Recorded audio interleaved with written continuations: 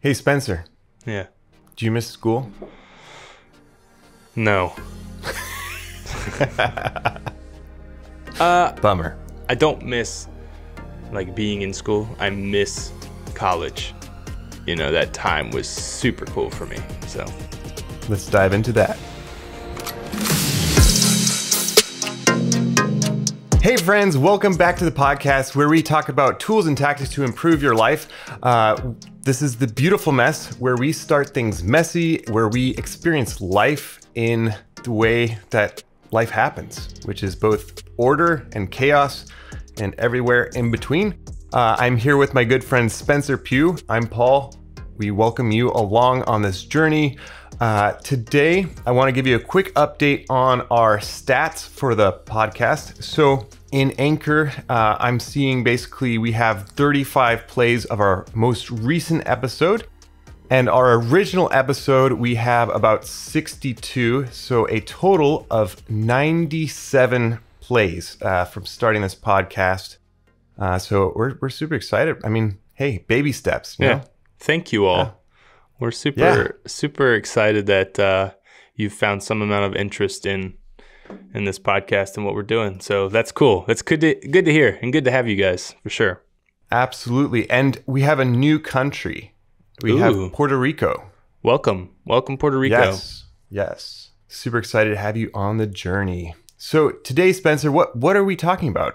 Today we're talking about school, and I guess I guess specifically higher education, so like after high school level. But do you need to go to college? I guess is kind of the the question of the episode. And then just learning in general and how we how we continue to do so or for some of you how you've you were just done with school when you were done and cruising through life. So, that's the idea for today. I love it. I love it. And to me, I feel like there's a lot of opportunities for people to learn outside of school because mm. of technology and the expansion of YouTube University, as I'll call it. And to be honest, there's so many podcasts out there as well that you can learn from, or audiobooks, books. So there's just a wealth of knowledge readily available, or that you have your online courses, you have now this cohort based learning that's become a new Hmm. thing where people go online and they take courses with a group of people at the same time. So we're going to dive into a lot of that and ex- kind of explore our experiences with college, whether it was worth it, and why you should consider or maybe not consider going to school Sure. for further education or just starting out. Should someone go to college? What do you think? Whew. Yes, yes, and no. Uh, I think you have to go for the right reasons because many times I think people go to school thinking that it's it's just like another step that they have to take, and I don't think that's any like any longer the case. Like it's not. It doesn't have to be that rite of passage, and I think for some people they don't need it. It's not very important to what they do.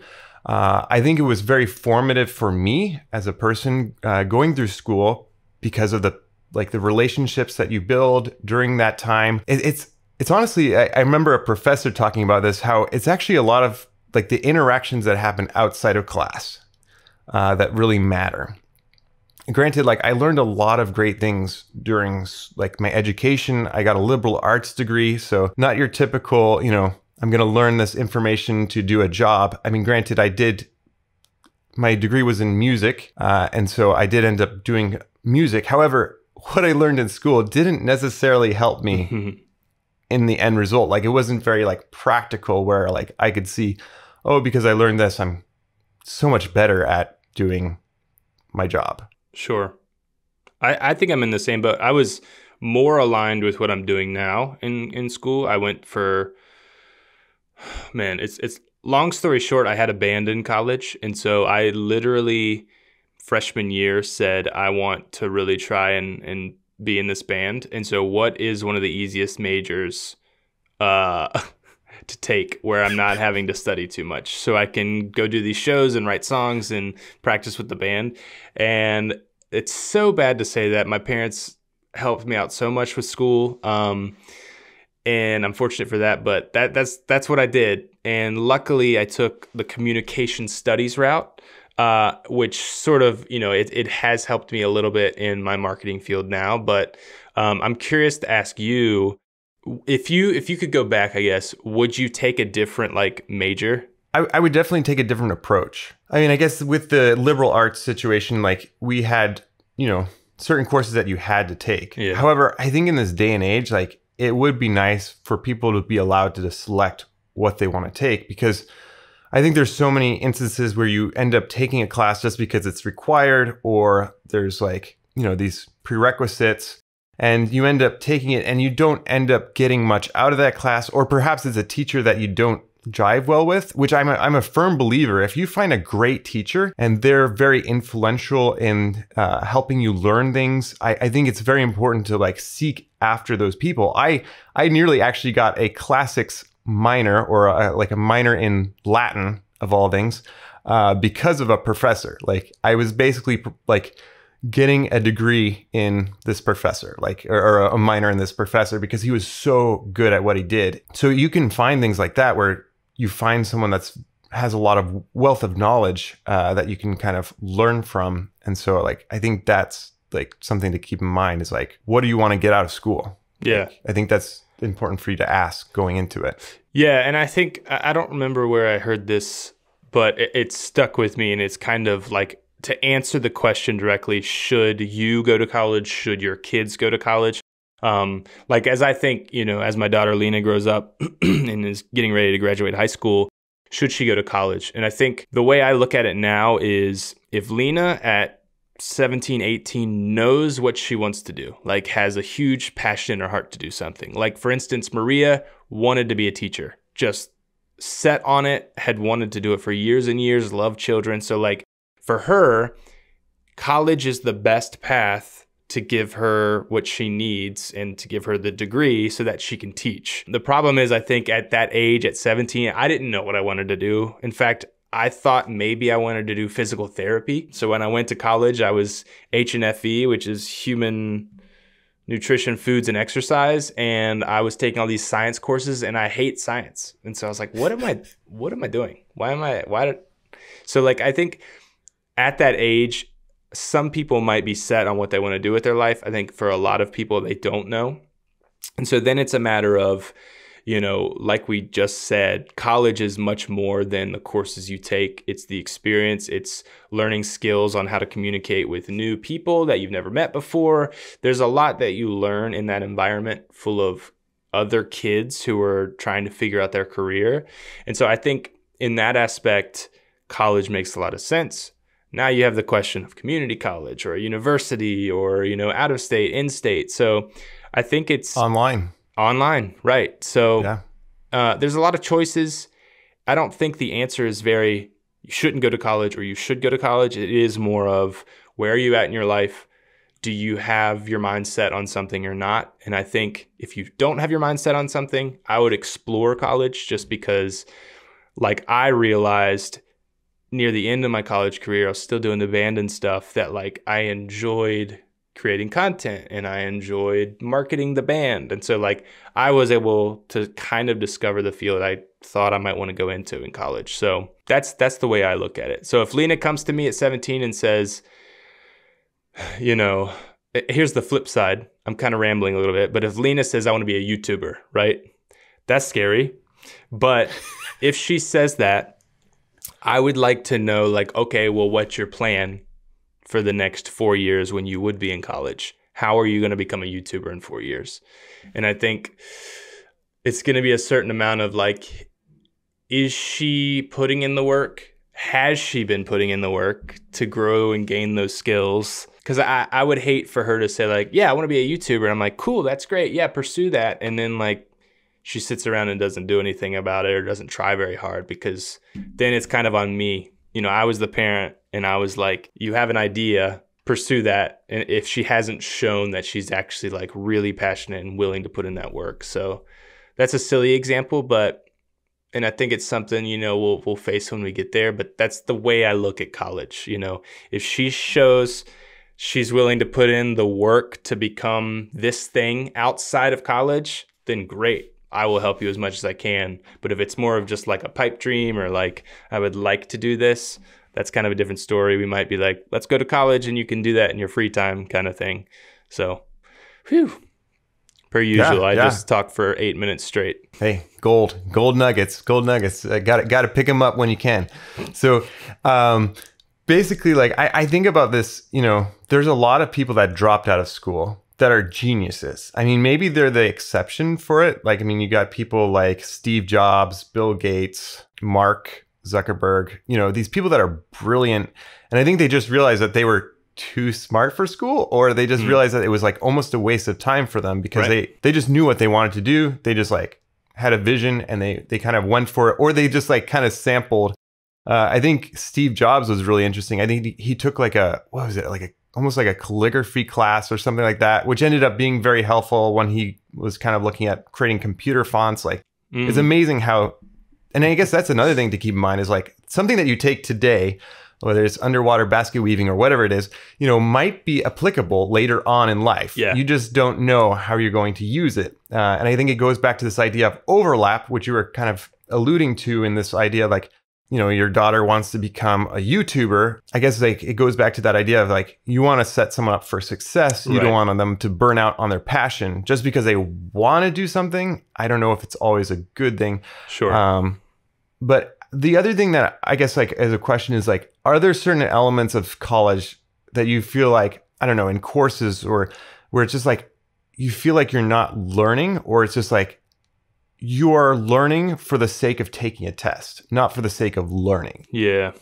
And I think to me that's like one of the things I don't like about most traditional schools is that they basically teach you how to take a test, Mhm. not to learn for life. And I think definitely, like like we were saying, like when you go into college, you have credits and stuff that you've earned in high school, and if you don't have enough, then you have to retake things, or maybe you can skip a class. You have the what are they called? Like your your base level uh, studies. electives or like you, you have your like requisites and then you have your electives like things that you can choose to take is that what no, I'm saying like I had to take a chemistry class, even though I had switched into a communication major. oh the, like the core curriculum Yeah, I, I think like that for me, freshman year, and I think I was in some of sophomore year, it was very much that. It was like I have to take like this. Literally, I don't care about math anymore. I don't care about chemistry anymore, but I have to take these right. And I think that was very much true um, to that. Like learn the material so you can take the test and pass, and then you can forget about it forever. you know what I mean? And I also think like I don't know. I think it has a lot to do with like the structure of university, and, and you know, there's there's a reason it's been done that way, obviously. But like, I remember like the whole like credit system, right? I remember a popular thing to do for people at my school was to like Google what are the easiest classes, you know, because you you can like get a credit and not it does like you're just getting the credit. And I'll be honest with you, I took a class in college. It was industrial design, and I was interested in that, but we went to the first class and we went to the next class. Me and my buddy took it together. The professor, all he did was he had a projector and he would show us things that he had found on his travels and talk about some industrial design. And then he would pass them around the class. And that was every class. Uh, no tests. He didn't take attendance. And after a while, we were like, we don't need to be here. so we stopped going to that class until the end of near the end of the semester. And we went back in and somebody was like, "Hey, uh, so like the end of term exam, like what's that going to look like?" And he was like, "I just I don't really think that we should do anything. I'm not prepared." And so zero attendance scores, zero grade scores, and no exam at the end. So we were like, "So so so like we don't have to do anything." He's like, "I just everyone's been great. I'll just give everyone an A." And it was just like literally I could have signed up for this class and never showed up and gotten the credit. And I think like that says a lot. I went to a great university and that still exists there. And so I don't know. I don't know. And I'm sure, you know, like what you're saying, like I know there's things that little facts and figures or nuggets that I learned in classes that didn't even pertain to my major that I still think about or still use. So I don't know where I'm going with this. It's just like, I, I don't know. It's like the the professor checked out before the students did. Yeah, he was kind of wacky. So I guess for me, one of like the I guess I don't know if on the the trail of what you're talking about is like I really disliked professors that would read you their slides. yeah. Like basically they would have this PowerPoint and it had so much text on it that it just felt like you could have sent me the slides and I would have gotten just as much out of the class as sitting here right now. So, yeah. I don't know. That was a huge tangent. I just remember last night when I was thinking about this episode, I was like, dude, I gotta tell that story because it was like it was absurd to me, like this higher education place where I don't know. I got credit for not showing up. Do you regret going to college, Paul? Whew. I guess I've thought about it sometimes where I would have done a different path, maybe. I would have studied something different. Basically, I had a very fortunate situation where I got paid to go to school. Cool. Um, my dad was working, still works for this university. And so, like, for me, I grew up around this university and it was a great, great education. But sometimes I think, like, if I were to choose a school, I might have studied something different. I think at the time I was just choosing the the major that I would feel like I would get the most out of, uh, Mm. or was the most enriching, and so um, I kind of fell into that path. And and it was it was a very you know the music, as most music majors know, like I don't know, you're kind of in this bubble um, that most other people don't experience. I'm, sure there's other majors like this, but it's it's like you have your own little music family. yeah. Um, so it was it was a good experience, but there were times that I felt like because the, music major is usually very intensive. I, I think I guess something to keep in mind if you're planning to go to school is like make sure you're getting what you want out of it because I felt like in the end I probably spent this is weird to say too much time like studying or being worried about my grades Hmm.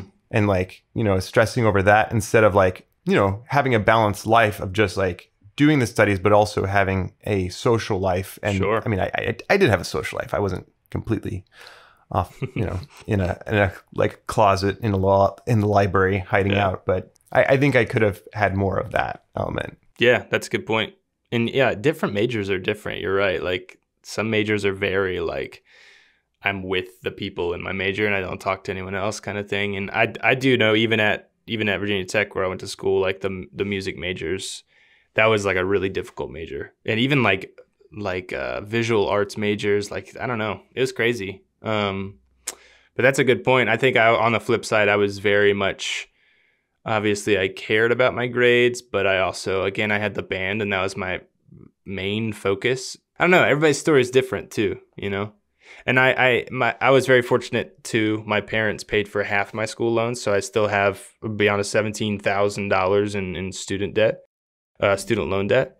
Um, but I guess I made a I, I, as I was typing this up last night and thinking through it, like I don't know that you can put a price on the opportunities and the experiences. In a way, I feel like even though I wasn't in the right major specifically and I didn't learn a lot in school, I mean, the relationships I built, the fact that I started a band and started to create content and fell in love with all of that, I don't know that that would have happened outside of college. So I think $17,000, sure. Like, I, I don't, you know what I mean? Like, it's hard to, to say whether or not I regret doing it because I do have such fond memories. And I think for some people going to school, like maybe if they went to a university where people were very much a shut in, I, I, it depends on the school too. Like they may have had a terrible experience in college. And so it's not worth the student loans, you know, or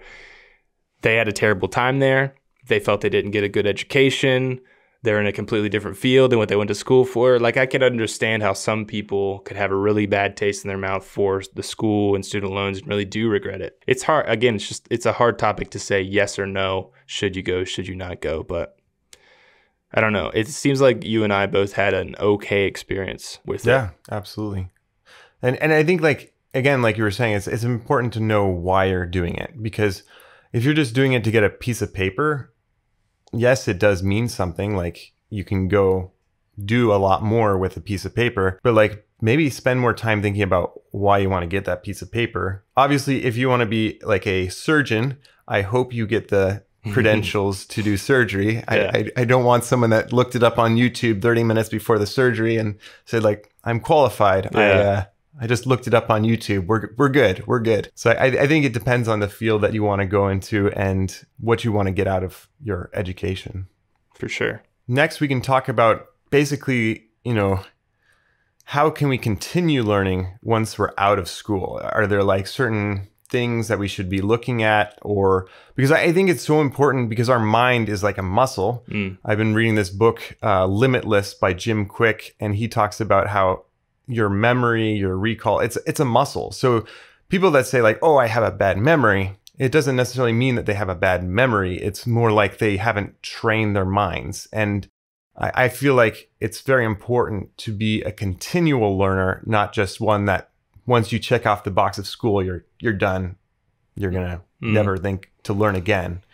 So, what Yeah. what what do you think? What would you recommend someone if they're looking for ways to continue learning? Well, first, I guess I would say too, a lot of people are different. Um, I think there are some people, probably a lot of people, who are they went to school, they put in the time, they learned what they needed to, and now they're working their job nine to five. They're happy that with that they come home and spend time with their family, and I think s for some people that's fine. Like I can tell you, someone here that I work with just doesn't doesn't really want to like further themselves in their career. They just they like coming, punching the clock, doing their work. They get fulfillment in that, and then they spend time, you know, with their family or out with friends. So I think for some people that's fine. You know, um, they spend their free time, you know.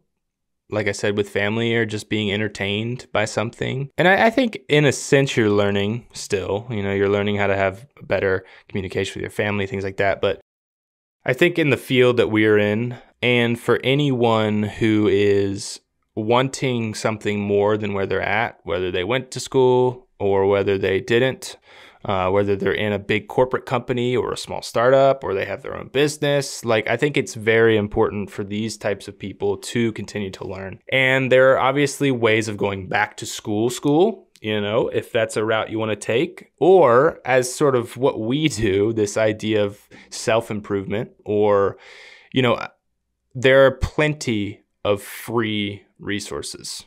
You know, you can go to college again or go back to school or get your master's or PhD or whatever. But in terms of, you know, if I think specifically if you're if you've found the field that you really enjoy, there are plenty of free resources for getting better in that field. Whether it's YouTube, like you're saying, audiobooks, there's thousands of billions of millions. There's uh, podcasts are a great resource. Um, like you're saying, just flexing that muscle, uh, your brain muscle, your memory to recall information and, and just and it, it it it doesn't. I felt like in school I didn't do well with the whole learn, sit down and take a test, like studying and stuff. But now that I've left school, learning is like my favorite thing. And it's weird, like just learning new information, new tips and tricks. Like it's so much fun for me. So so yeah, I I would recommend anyone who's looking to further themselves in their career or make more money over time or you know, I I don't even know, looking for a career change. There's just plenty of free resources of people who have gone before you in your field who you can listen to and take on as a mentor even if you don't actually know them. You know what I mean? So, that's that's how I feel. What other resources Yeah. can you think of as well? I mean, there are paid versions too. Like uh, something we'll talk about this this idea of like online courses. There's people who have gone before you, maybe even in YouTube or a field that's kind of new to society, who at least they're a year or two ahead of you, who can say, "Don't take these steps, take these steps, or learn from these mistakes," kind of thing. So Love it. Yeah, yeah, no, absolutely. And to add on to that, I think with technology, there's a lot of, I mean, as you said, there's a vast amount of knowledge. I think the the big part is kind of curating that for yourself Mm. and understanding how you can use this information and not just because like we get an information overload. So I think it's Sure. important to kind of curate what you're learning. I think about this idea of cohorts versus MOOCs. They call them MOOCs. Basically, it's massive open online courses. And so massive online course, open online courses is basically where you can register for a class online and you can take it at your own pace. You can watch the videos, maybe answer quizzes. Whereas cohorts, you have a group of people and you're learning together at the same time. Uh, I think that, especially after you know the pandemic, we've seen so much you know content being distributed. But I think to have that sense of community that you're working together with some, uh, like working together towards a goal, I think is very uh, encouraging. I guess personally, I kind of had something like that And I mean, we talked about it last episode with the overlap idea, uh, where you have like a mentor or somebody that can guide you. Uh, maybe they found resources that they can share with you. I definitely had one of those people who kind of laid out like a, a document full of like books, Hmm. uh, YouTube videos, you know, all these resources that I could just like cherry pick and, you know, learn from. And that to me was a, a huge help because it kind of gave me like a guide to go through it. Yeah, I think that's a very good point because I think something you may run into if you're just trying to learn on your own is there there is a lot out there and it's like what what would be my best use of my time, you know? And I think without having someone who knows or at least has way more experience to tell you like don't spend your time doing this. It's great. It's probably good to know, but like take this path, not this path. Obviously, it's all up to the individual, but I mean, that's something even I'm running into here being the CMO of this company is I feel like I'm adequate, you know, here at the company. We're all very young, but I it, it's very cool when we get in a meeting with maybe an outside source. Like we had a meeting with um, an agency in Texas who does ads. For them to tell us what's right and wrong is so it's like a breath of fresh air because we're trying to figure it out. They have it figured out. So Yeah. um, yeah, I think that's something I'm going to look more and more into, and I think that's the that's the advantage of having a mentor or someone who is in your field who has already done it is they can say like these are the things you need to focus on instead of just trying to intuitively think what's most important as an individual which i think that's probably a big flaw of mine is like i this makes sense to me like i can figure it out so yeah that's a good point. and i think the moocs the idea of having others experiencing that too. You have these different viewpoints of people at your same level too aiding in you know what might be most important. And who knows? I think it's cool too with those because since you're all learning the same kind of stuff you have the ability to maybe start like a new project you know? You might have gone into this course thinking i'm going to learn how to take photos better but then you find someone who literally lives down the street who's also taking the course and you guys could start a photography company together you know so there's certain advantages to that too which is super cool or just meet friends who want to talk about the same kind of stuff you do you know i love yeah. it i love that So MOOCs are like where you can take it on your own pace. Oh. Cohort based learning is like where you learn with Sorry. like other people at the same. I mean, you, you got it. You got It's it. It's a new term You're to me. learning.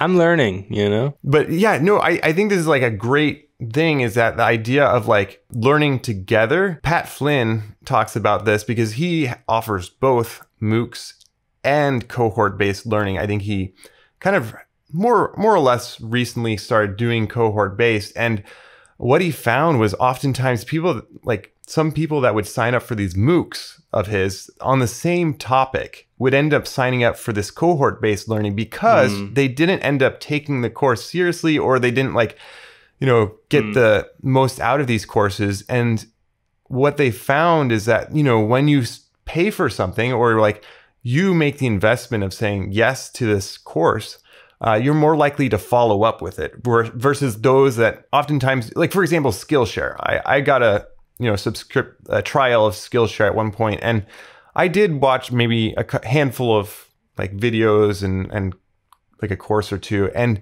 hmm uh, it was great, but like, you know, I, I felt like I was wasting it to some degree because I, I wasn't using it all the time. Um, Right. But I think if I had a community that was meeting at a certain time, certain place, I'd feel more like I'd miss out if I didn't come. the whole accountability kind of thing same thing with working Yeah. out with a group of people versus you going to the gym on your own that makes a lot of sense yeah and it's so funny it's it's it's it's a new concept, but it's not a new concept.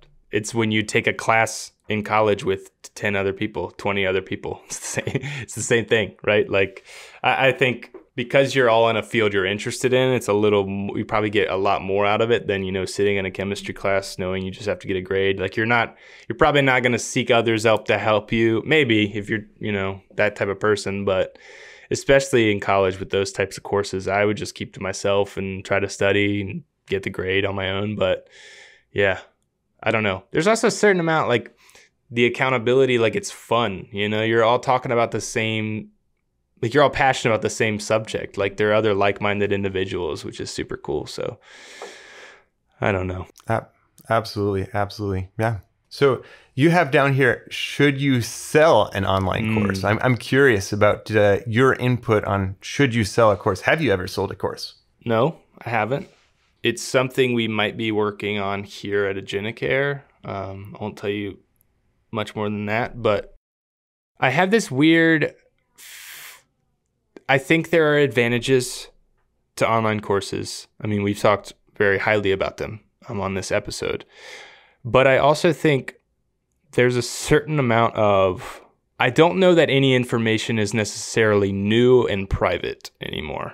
I think the an online course gives you a streamlined way of approaching something but you could technically find that same information for free across the internet. It's just a matter of piecing it together for yourself. And you might even find free online courses that give you just as much value. I think, again, the value in an online course is maybe you've followed a creator like Matt D'Avella has an online course as an example. I enjoy the way he does videos. So I might take his course because I want to emulate that, you know, so I would pay for that. In terms of just actually just starting a YouTube channel, there's plenty of free resources out there. And so it's kind of funny to me that someone would say like, "Hey, I've got all this really like groundbreaking information on how to start a YouTube channel as an example. Uh, but you got to pay to get this information."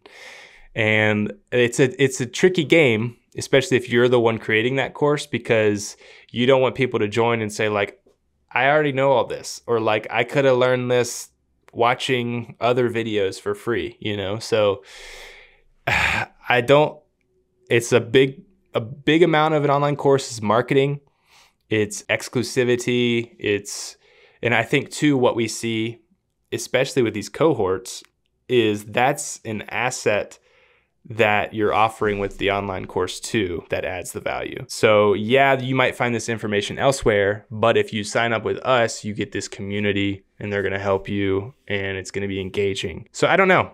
That's why I put that. Should you sell the online course? I don't think any information is private this these days in terms of learning. I think it can all be found. It's just a matter of how you package it and, yeah. you know, sell it to people. And if you're really trying to help and not just make a dollar. So I don't know. What do, what do you think? What do you think? I, I loved, I mean, it was kind of going back to this idea of like, if you connect with a certain way of like a style of somebody, like that's a, a unique way of mm-hmm. learning because they obviously, as a human, they have their own way that they learned it. They have their own way that they, you know, do what they're like teaching. For example, I mean, you brought up Matt D'Avella. He probably teaches his YouTube course different than Ali Abdaal, mm-hmm. um, who also has like a cohort based. I mean, I don't know if uh, Matt's cohort based or not, um, but I know Ali's is, and like they're two fantastic YouTubers. Yeah. But I'm sure you know maybe your learning styles more like Matt D'Avella or Ali's, and mm. so you can choose one that's going to resonate more with you. I think that's that's important. Like the same thing with teachers. Like if you go to school and there's a certain professor that's just brilliant, mm. and you just learn so much from them. I would suggest seeking out courses with that. There's so many people that ended up in a different major because of a professor. Yeah, for sure. And I think uh, it's something to be wary of as we bring this up. I think it's possible that someone could buy Matt's course and then they could go and buy Ali's course and they can go and buy this person's course looking for some sort of like perfect way of doing it. And I this whole podcast is based on starting messy, the beautiful mess. I would rather you take one course and just freaking go for it. I mean, you can buy as many courses as you want. Like, I think it would be probably be pretty entertaining and you could probably get bits and pieces, but don't don't allow paid courses or free material stop you from getting started on something. Um, I think it, it might feel like, and I'm sure these courses tell you this too. Like, don't don't try to be so perfect that you never that you never start. And we're I feel like we're always going to be saying that. So. Oh man, that that was some gold dropping right there. The cha-ching, cha-ching. I mean, that that's yeah, that's what it's all about. Is like once you learn enough to get started. And in fact, maybe sometimes it's better to even start like as you're learning yeah. because you're going to make those mistakes and be okay being a beginner. Just like just get started, just yeah. like get and messy. You, just no matter how yeah. well prepped you are, you're going to make mistakes. Like that's just inevitable. So be, you know, don't let that stop you. That's just to happen. It's part of it. Uh, absolutely. I mean, I, I'm starting out with CrossFit. I am like a noob when it comes to CrossFit. And so like you you go to the gym and like you see these people that are super, you know, into CrossFit and it's just like, wow. But you have to realize they started, you know, square one at one point. So, you know, if they can do it, I can do it too. And I'm just sure. going to take those baby steps, you know, just show up, you know, just put in the reps. Yeah. Cool. That's all we had. I, I feel like that's a takeaway just right there. Yeah, I, that's what I, I was, was going to say. like we, we you know we, we want to give you takeaways at the end but I, I think that was the goal just start messy just like you know find maybe there's one thing that you can select that's going to be the kickstarter for your next whatever it is that you're trying to use that information for mm. um, just try to find a way that you can actually apply it instead of just taking a bunch of courses like mm. learning a lot about a topic like if you're if you're interested in starting something as a result of learning um, I, I highly recommend just like finding a resource, finding a mentor, finding someone that's going to guide you that, through that process, and then just get started. Yeah, I love it. Um, in summation, go to college, don't go to college. Uh, it's just a lot of you know where you are in life. You know, uh, whatever whatever is gonna in your mind, and maybe you know finding someone to help you with this decision as well. But what's gonna get you to where you're trying to go? It might be college, it might not be.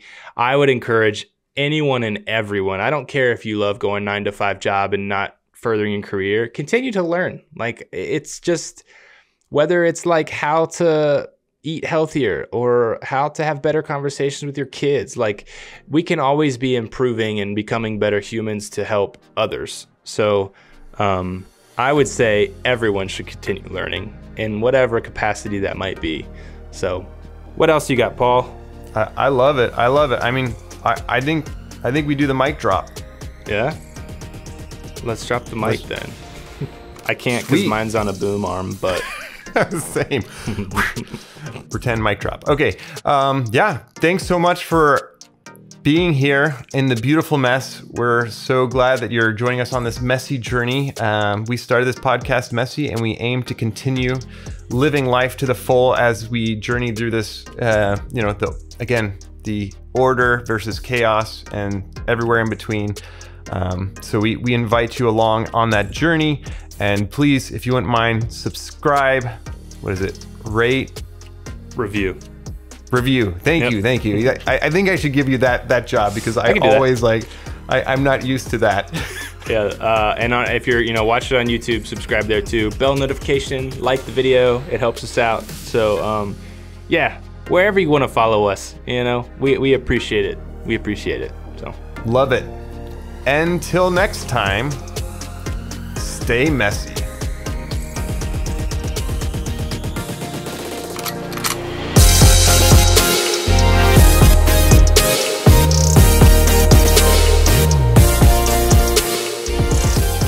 Episode four in the bag. In the bag. That was fun.